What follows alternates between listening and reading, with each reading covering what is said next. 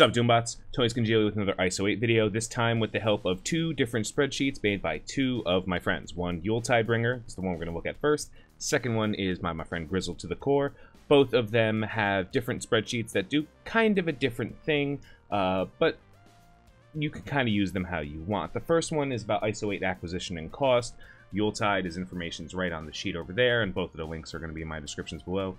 He goes through kind of what you should expect from your ISO 8s, how many ions you get every week, and, uh, you know, like what you can expect to farm, and kind of touches upon some things like, you know, what you could afford to buy every day, and more importantly, the cost of fusing, uh, upgrading your classes, and of course, uh, finishing characters. So, just taking a quick look at this right here, you'll see that uh, to get a single ISO 8 on a character uh, from 0 to rank 5, it costs a total of 70,000 ions. Uh, obviously, multiply that by 5, and that's what it takes to get a character to have a full 10% stat increase versus, you know, 8, 6 down the line.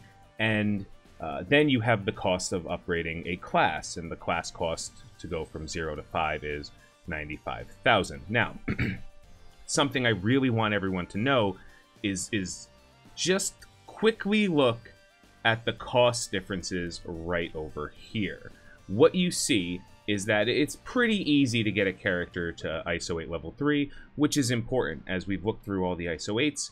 Uh, once you get to level 3, that's usually when the ISO 8 starts mattering, or the class starts mattering. Whether you be a striker, you get uh, a solid 10% damage increase uh, and the ability to just do a little bit more damage on bonus attack.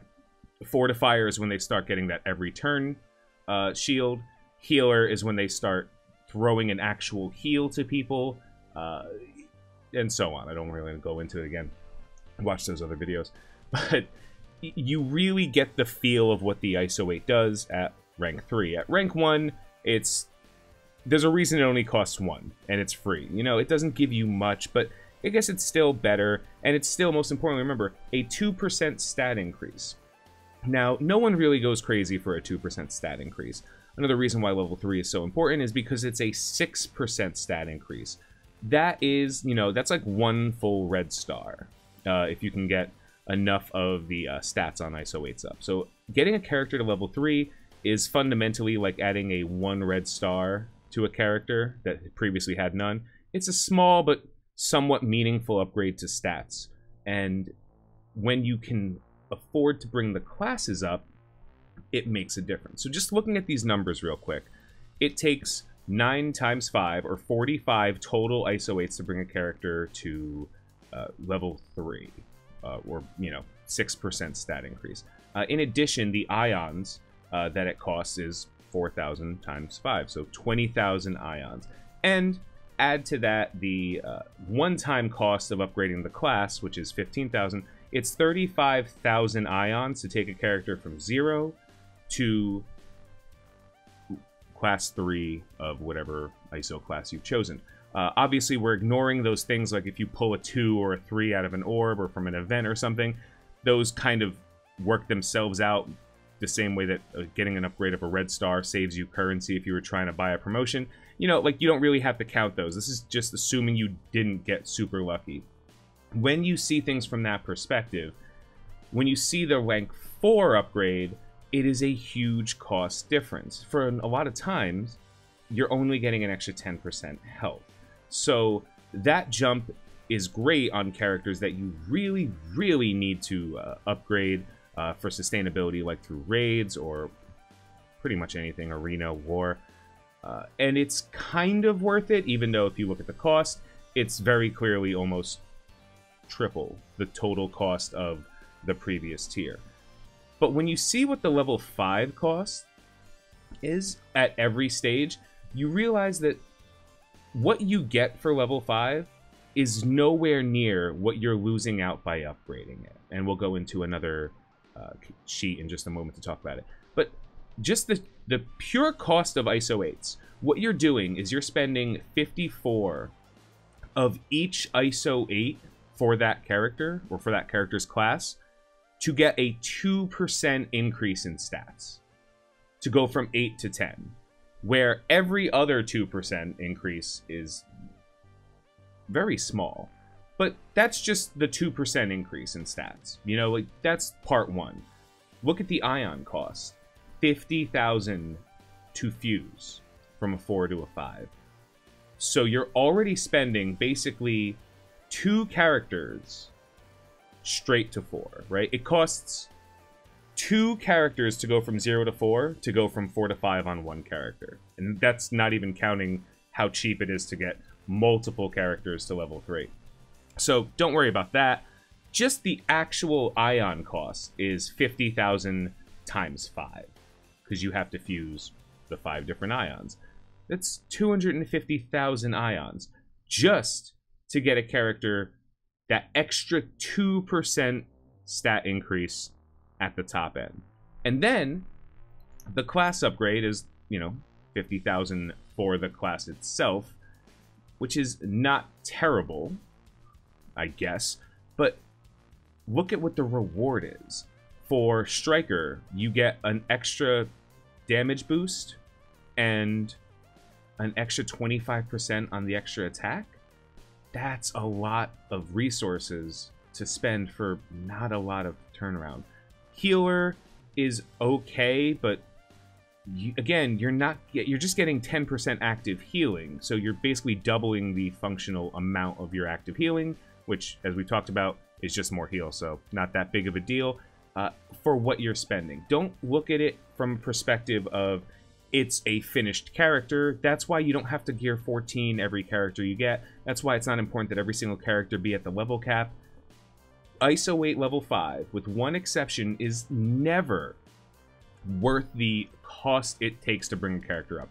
You will never get a reward for bringing that character to level 5 equal to every other stage. Like, just bringing a character to level 3 at that very, very low cost we talked about makes them so much stronger than they were before. The jump from 3 just 3 to 5 is nowhere near justified. One exception is in the Skirmisher tag. I actually consider Skirmisher level 5 to be the 6th ISO 8 class, because Skirmisher itself is a very good class, but Skirmisher level 5, not only does it uh, add to the awesome effect that it gives at level 3, which is another character uh, with Vulnerable gets, you know, buff cleared, so two buff clears, it also gives you 50% focus. So just that 50% increased focus might be on its own phenomenal for certain characters, like any member of the Supernatural, um, anyone who really needs to stick something, like maybe an Okoye. Uh, these focus increases is huge. So if you're looking at the kind of character that would use Skirmisher, you can kind of see how the level 5 would be relevant. But again, just look at the cost on this sheet, and it, it's clear that it's way too much for nowhere near enough resources. It's like tier fouring every ability on a character when the like Emma Emma Frost basic is a perfect example. You don't ever tier four Emma Frost basic because it increases the damage she does, but she doesn't actually do damage.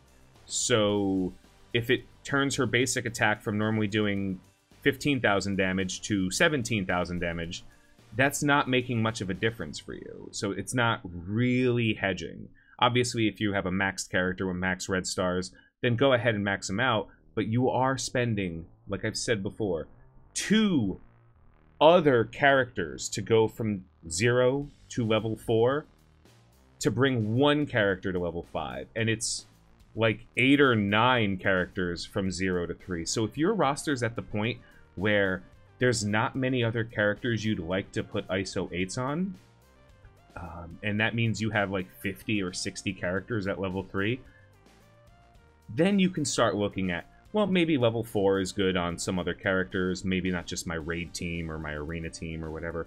Uh, but once you have half the roster, or half your unlocked roster, at level 3, level 4, then you could start looking at what the level 5 increase does, because at that point, they're not releasing enough new characters that you need to get to level, you know, 5 as quickly as possible. If you follow the standard, bring a character to level 3, move on to the next one, and then repeat the process, you're going to have a very, very useful roster at very low cost to you. And if you go through this spreadsheet, again, links in the description below, it'll give you an idea of how many ions you get every day, how many ions you get in a week, how you can afford to do them. And there's some other calculations at the bottom. We'll go in, you guys can go into that later.